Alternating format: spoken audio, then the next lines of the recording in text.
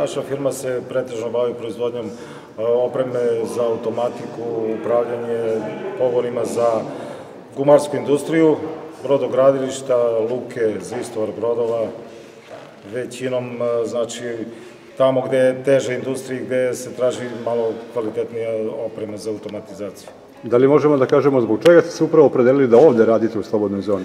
Pa u slobodnoj zoni je pogodnost e, kada je proizvodnja uvozno-izvoznog karaktera, oslobođeni smo PDV, oslobođeni smo od carine, a papirologija prilično brzo prođe, da se mi ne bi sa time opterećivali i čekali dan, dva, tri, završi se istog dana kada roba stigne ili kada treba da izađe roba.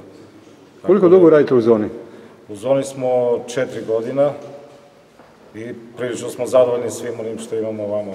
Onaj komplet set usluga što se ovamo dobije. Pa naši kupci su prvenstveno Tigar Tires, Michelin, Sandvik iz Kanade, Cooper Tires, radimo za Grunfos dosta, većinom one firme koje trenutno stvarno dobro posluju. Čija tehnologija?